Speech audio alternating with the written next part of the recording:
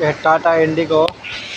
इसका हम करेंगे फॉर्म ओपन फॉर्म लीकेज अब देख सकते हैं, इसका हम टाइमिंग कवर निकाल लिए फास्ट टाइमिंग कवर में दो सोलह नंबर का बोल्ट होता है, एक दस नंबर का बोल्ट होता है, इधर से टाइमिंग कवर उसके बाद ये फॉर्म का जितना भी सामान है ओरिजिनल पूरा हम खोल लेंगे। ये पाइप जितना है, पूरा खोल लेंगे। उसके बाद इसको टाइमिंग लॉक कर देंगे। टाइमिंग लॉक करने के लिए यहाँ पे होता है, पाँच का एल की जाता है, ये डीजल फ़िल्टर को वहाँ पर आपको हम प्रैक्टिकल लॉक करके दिखा रहे हैं वीडियो पे। बने रहिए। ये हमारे पास है पाँच का एल की इससे हम इंजन लॉक करेंगे। ये इधर घुसाएँगे ऑयल फ़िल्टर के नीचे ये बैठता है। ऑयल फ़िल्टर के नीचे छेद आता है, उस पर घुसेगा। ठीक है? ऑटोमेटिक लॉक हो जाएगा। उधर हम जग उठा के रखे हैं। देख सकते हैं चक्का घुमाने के लिए बोल रहे हैं। चक्का घूमेगा तो ऑटोमेटिक मेरा लॉक हो जाएगा। घुमा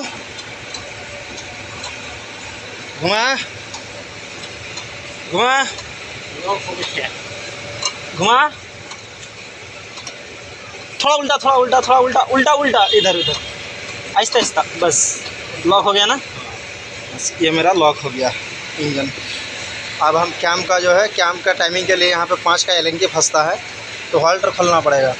तो हम हॉल्टर नहीं खोलेंगे डायरेक्ट जो है हम यहाँ पे कोई मार्क मार देंगे और उसके बाद हम पॉम ओपन कर लेंगे। पॉम का भी लॉक होता है यहाँ पे। आप पिन से लॉक कर सकते हैं यहाँ पे, उसका लॉक होता है। ठीक है? हाँ अब हम फाइनली पॉम ओपन करके आपको हम दिखाएँगे। पॉम लॉक करने के लिए ये सब पिन होना बहुत ज़रूरी है। ये पिन से अच्छा होता है। इसको अब हम यहाँ पर ढुका लेंगे। ठीक है?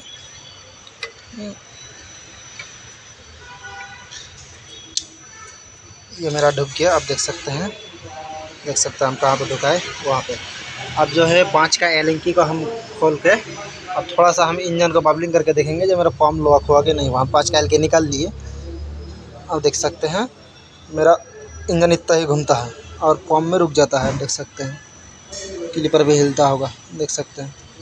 इतना घूम के रुक जाता है, यानी कि मेरा पम्प भी लॉक हो गया। अब मेरा क्रेंक का जो है, हम जो एल के निकाले थे, इसको भी फिर से हम बैठा देंगे, ठीक है? हम्म? चलिए ये भी मेरा बैठ गया। अब यहाँ पे एक हम मार्क दे देंगे। मार्क देकर आपको हम दिखा रहे हैं। ये हम कर लिए कैम का लॉक, यानी कैम का टाइमिंग, ठीक है? इधर हम करके रखे हैं, आप देख सकते हैं। क्लिपर पिन घुसा के पम्प का टाइमिंग, और इधर हम करके रखे हैं पाँच का एल की से क्रेंक का टाइमिंग, ठीक है? पाँच का एल की क्लिपर, ये हो गया। अब ये बोल्ट चौदह नंबर का बोल्ट खोल के हम इसका बेल्ट उतार लेंगे। उसके बाद हम इसका पॉम ओपन करेंगे। अब बाकी हम पॉम ओपन करने के बाद आपको वीडियो दिखाएँगे पॉम का। आप वीडियो पे बने रहिए और अभी तक वीडियो को अगर लाइक नहीं किए तो वीडियो को लाइक कर दो चैनल को सब्सक्राइब कर दो ताकि इस प्रकार का जब भी वीडियो बनाए आप तक पहुँचते रहे। अब हम करते हैं इसका पॉम ओपन करते टाइम एक चीज़ का ध्यान रख लीजिएगा। ये जो एक नंबर का पाइप है ये जो है ऊपर एक नंबर पे गया ये दो नंबर है इस साइड गया राइट साइड और तीन नंबर जो है, और चार नंबर ये लेफ़्ट साइड यानी बाहर के साइड है, ठीक है? और ये कर दो इंजन के साइड है। ये पाइप का ध्यान रखिएगा, बाद में भुला जाइएगा, आपको बहुत परेशानी हो सकता है, ठीक है? वैक्यूम का पाइप यहाँ से डायरेक्ट गया, इधर पे तीन टी लग गया। हम देख सकते हैं, यहाँ पे तीन टी है, और ये टी एक चला गया डायरेक्ट अल्टरनेटर में, यानी डायलमो में। ये जो पाइप गया, ये। और ये वापस चलाया पॉम का इस पे एक्सीटर में, आप देख सकते हैं। यहाँ पे लगा हुआ, यहाँ पे। यहाँ पे देख सकते हैं, ये दूसरा नंबर इधर वाला है, इस साइड वाला। ठीक है, आपको हम इसको ड्राइवर के माध्यम से दिखा रहे हैं, ये वाला। ये वाला, ओके। और ये दूसरा वाला जो पाइप है, उधर वाला पाइप जो है, वो उठ के यहाँ पे आया गया। यहाँ पे आ गया, ठीक है। इस पाइप का भी ध्यान रखिएगा वो बाद में फिट करने दिक्कत मारिए। चला गया। लूज करो।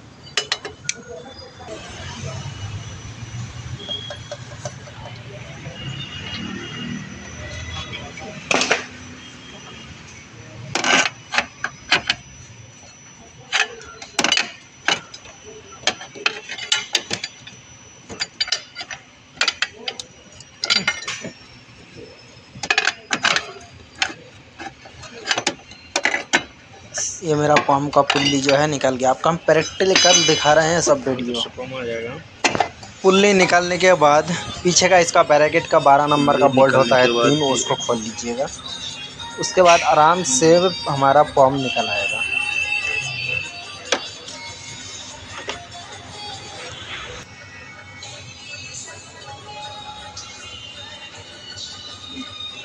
आपका हम प्रैक्टिकल फॉर्म निकाल के दिखा रहे हैं। दोस्त, ऐसा वीडियो आपको कोई नहीं दिखाएगा। अगर इस प्रकार का वीडियो देखना चाहते हैं, अगर कुछ सीखना चाहते हैं तो भाई इस चैनल को आप सब्सक्राइब कर ले और बेल आइकन को ऑन करके रखें, ताकि इस प्रकार जब भी वीडियो डाले आप तक पहुँचे और आप उस वीडियो से कुछ सीख पाए। फिर से बोल रहा हूँ, अभी तक अगर चैनल को सब्सक्राइब नहीं किया तो अभी भी सब्सक्राइब कर लो और वीडियो को लाइक करें, कमेंट में लिखे अपना अपना जगह का नाम और कहाँ से हैं, कहाँ से वीडियो देख रहे हैं, ताकि मुझे पता चले कहाँ तक मेरा वीडियो जा रहा है? ये पुराना पम्प है, देख सकते हैं, इसको निकाल लिए हम। और एन गाड़ी से हम निकाल लिए। इसका हम आपको दिखा दिए क्या क्या चीज़ पम्प में लगा हुआ है। सही से चेक कर लीजिएगा पम्प भेजने से पहले, ताकि जो आप भेजे उस तरह, जब तक हमारा पंप रिपेयरिंग होगा आ रहा है ना, तब तक आप वीडियो को लाइक करते फाइनली मेरा पम्प रिपेयर होकर आ गया है। अब मैं फ़र्स्ट जो वीडियो किए थे उसको उसका नंबर वंबर का सब चेक कर लेंगे जो मेरा वही पम्प है कि दूसरा है। क्योंकि भाई ये सब झेल बहुत होता है। बराबर है। सब आइटम रखे वो। नहीं सेम है जैसा गया था। अब इसको हम करेंगे फिट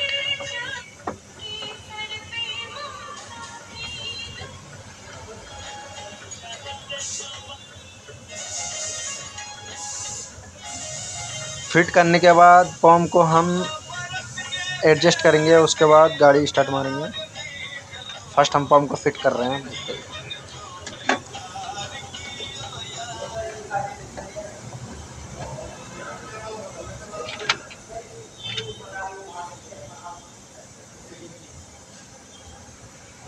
आपको हम फ़र्स्ट मना किए वीडियो इसके पर के मत देखो। वीडियो इसके पर के देखने से जो है ना, आपको समझ में नहीं आता है।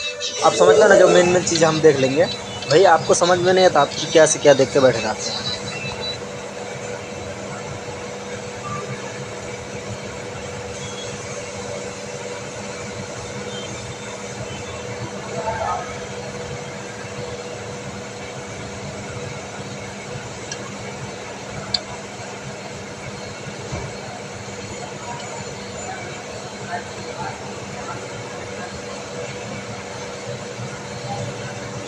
आपको हम प्रैक्टिकल बोल्ड लगा के दिखा रहे हैं। वीडियो में कोई एडिंग वेडिंग कुछ भी नहीं, क्योंकि मैं वीडियो को एडिंग करती हूँ। जो रियल होता है, वो मैं दिखाता हूँ। ठीक है? और रियल वीडियो देखना है, और रियल में समझना है। तो भाई वीडियो थोड़ा लंबा होता है, लेकिन वीडियो को बगैर स्केप किए करके देखिएगा तो आपको हंड्रेड परसेंट समझ में आएगा। ऐसा होता है एडिटिंग कर करके जो मेन मेन चीज़ वो दिखाता है। तो ऐसे करने से आपको भी समझ में नहीं आता। बोलता है ना नज़र हटी दुर्घटना घटी। भाई, एक चीज़ अगर मिक्स हो जाएगा ना तो क्या से क्या नुकसान हो सकता है? इसलिए गौर से देखिए जो हम क्या कर रहे हैं, कैसे फिट कर रहे हैं। तभी आप समझ लीजिए। और एक अच्छा मैकेनिक का निशानी वही होता है जो छोटी छोटी फॉल्ट को पकड़ता है, जो छोटा छोटा नुकसान से बचता है। जो हर चीज़ को बचाता है, ऐसा नहीं जो तोड़ फोड़ के रख दो। फिर फिर आपका काम में शिकायत आ जाएगा। आपको बस कस्टमर नहीं आएगा। वीडियो को देखते रहिए, वीडियो बने रहिए।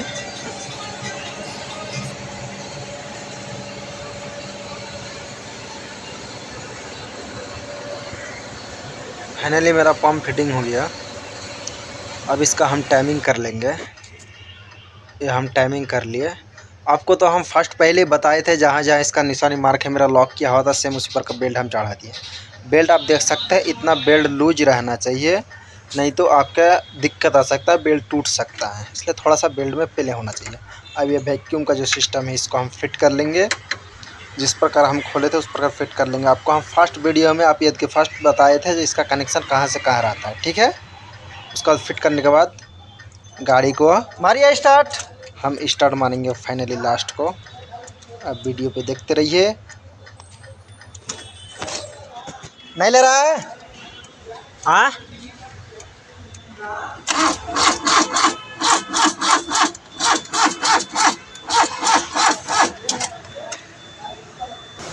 मारिए तो स्टार्ट मारिए।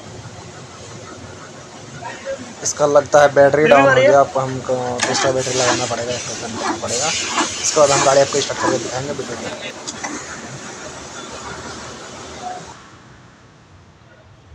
मारिए स्टार्ट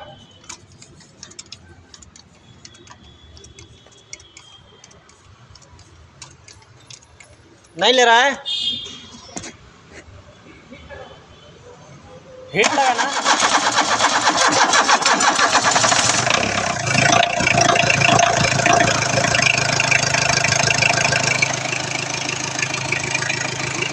तो ये था मेरा फाइनली इंडिगो का पम्प ओपन करने से लेकर के पम्प लगाने तक का वीडियो वीडियो अगर अच्छा लगे तो वीडियो को लाइक करें चैनल को सब्सक्राइब करें और वीडियो को भी एक दूसरे के पास शेयर करें ताकि एक दूसरे को समझ में आए। फिर मिलते हैं दूसरे वीडियो के साथ। तब तक के लिए बेस्ट ऑफ़